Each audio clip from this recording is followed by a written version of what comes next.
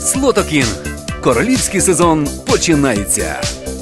На смену Пригожину после его неудавшегося мятежа, да и вообще нежелания сотрудничать с Министерством обороны, агрессии, убийств, то есть Российской Федерации, пришел такой шайгизм колонии. Теперь по заказу Министерства обороны вербуют а, в российских колониях и тюрьмах заключенных на войну, чтобы бросить их в качестве живого мяса на фронт э, для войны с Украиной. И вот а, они безинтересную информацию добывает российский оппозиционный телеграм-канал «Можем объяснить». Сейчас в русских колониях начали принудить принудительно уже отправлять заключенных на фронт.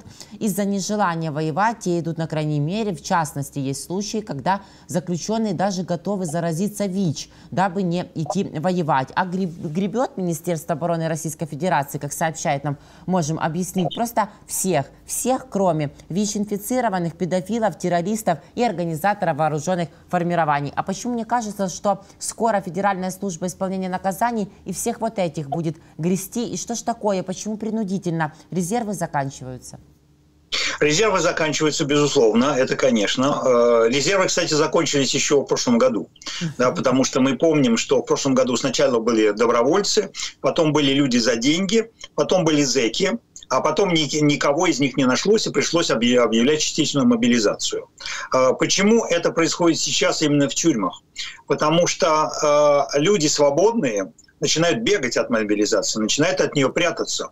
Потому что те, кто смог, кстати, там говорят, э, чуть не 2 миллиона убежало, ну, по крайней мере, там на уровне миллиона сбежало в любую страну, где можно было, куда можно было сбежать. Во-первых, во все страны, куда можно было уехать с российскими документами, не имея загранпаспорта и виз, да, то есть там Грузия, Казахстан, э, что там еще у нас, Армения, э, э, Монголия, и, там, и тому подобные вещи. Турция, да, потому что в Турцию можно туристам, э, для туристов есть безвизовый режим, можно просто было записаться в турпоездку, а потом из нее не вернуться, остаться в Турции.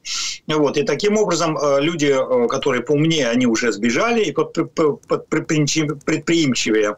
Вот. А люди, которые не смогли сбежать, либо они не умеют этого делать, либо у них нет денег, либо есть жизненные обстоятельства, которые им не позволяют стоит это сделать, потому что, вот, кстати, под нашими роликами регулярно появляются такие, такие комменты, что вот, ну, вы знаете, вот вы говорите, там, россияне, там, нехорошие, как, как же они не могут бороться, как же они не могут бегать, а вот у меня там мама больная, там, лежит, э, э, значит, чуть не в коме, и, значит, если кроме меня, то о ней просто некому заботиться. Mm-hmm. То есть, ну, вот такие ситуации бывают жизненные, и, кстати, это довольно распространенная вещь, потому что у многих есть престарелые родители, которые, если их э, детей, э, там, допустим, мобилизуют, или если, если их дети просто убегут э, куда-то, то просто они останутся без присмотра, без никого, без средств к существованию.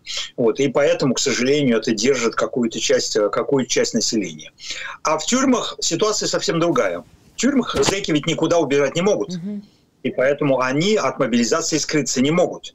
И единственная отмазка, которая есть, это вот те отмазки, которые вы назвали, то есть либо э, особо тяжкие статьи, э, либо заболевания какие-то э, заразные, которых еще все-таки побаивается немножко власть.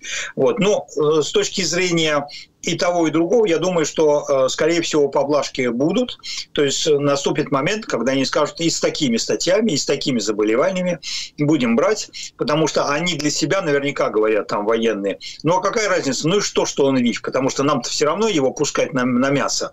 Да? И то, что он больной и э, был ВИЧ, это наоборот освободит, или там туберкулез, это наоборот освободит те тюрьмы, больницы от, э, так сказать, неизлечимых больных. И по этому поводу все, все будет решаться автоматически. Я совершенно не исключаю, кстати, такой циничный э, абсолютно подход э, к, э, к этому контингенту. Но самое главное, что ни те, ни другие, то есть любые люди, которые заключены, находятся в местах заключения, они никуда скрыться не могут, потому что все, они все на виду, они все на учете, они все пересчитаны, и поэтому их просто вот принудиловка сажают просто в машины и вперед.